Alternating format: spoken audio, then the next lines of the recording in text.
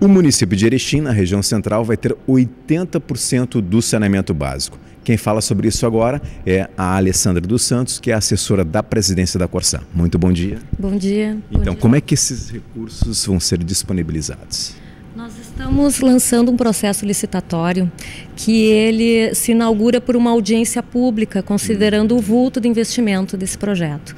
Esse processo licitatório, licitatório ao contrário uh, do modelo atualmente praticado pela Corsã, uh, ele se destina a alocar o sistema de esgotamento sanitário para Erechim. Como é esse modelo? Uh, o foco dele final é uma alocação de ativos, como nós denominamos.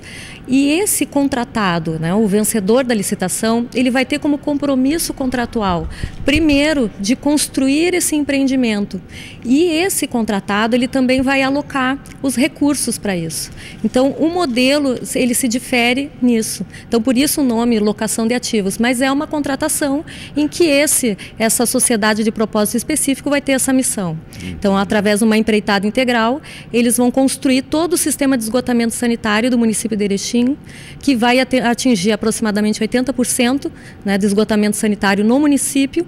E, ao final da obra, a Corsã vai locar esse investimento por 240 meses. Quando que começam as obras?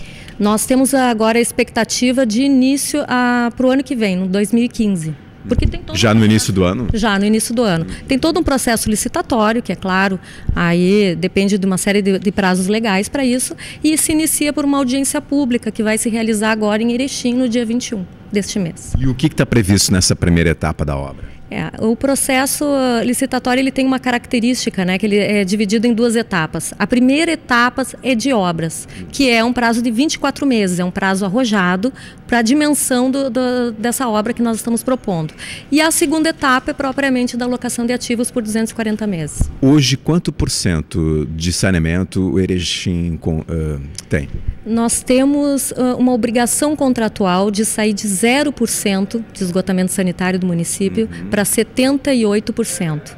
Então, a, a, aqui a Corsã está cumprindo, além de uma obrigação contratual, nós estamos cumprindo até um compromisso histórico que nós temos com o município. É, bom, o saneamento, então, é, inclui coleta e tratamento de esgoto? Sim. Na verdade, o saneamento básico, ele inclui água, esgoto, drenagem e tratamento do lixo. Né? Aqui nós, estamos, nós temos um contrato com o município de, de Erechim, em que nós prestamos serviços de abastecimento de água e tratamento de esgoto.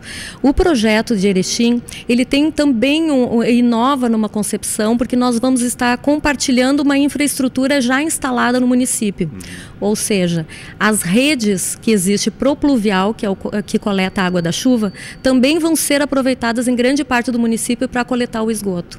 Então também tem uma outra inovação nesse município, no município de Erechim que nós vamos compartilhar infraestrutura com o município. Há quanto tempo não se fazia esse tipo de investimento no município?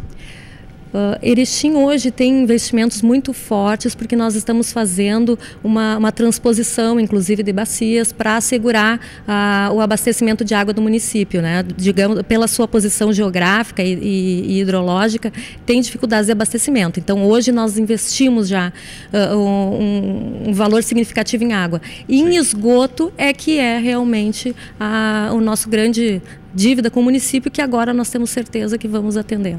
Em quanto tempo deve ficar pronta essa obra? A obra é 24 meses a partir da contratação. Perfeito. Agora, esse tipo de prática ela pode ser adotada em outro projeto da companhia? é uma alternativa. A, essa alocação de ativos ela é pioneira justamente no modelo de saneamento. Nós estamos sabendo que está sendo desenvolvido, inclusive, estudos pelo próprio Estado né, para presídios e em outros estados também está uh, sendo utilizado para outros tipos de infraestrutura pública, mas iniciou pelo saneamento. Então, a Corsã está analisando isso como uma alternativa de alavancagem de recursos. Quando não há recursos do PAC, essa seria uma alternativa Perfeito. Qual é o valor do investimento? 150? 155 milhões é o valor estimado. É claro que durante o processo licitatório ele vai sofrer melhores ofertas, é o que esperamos.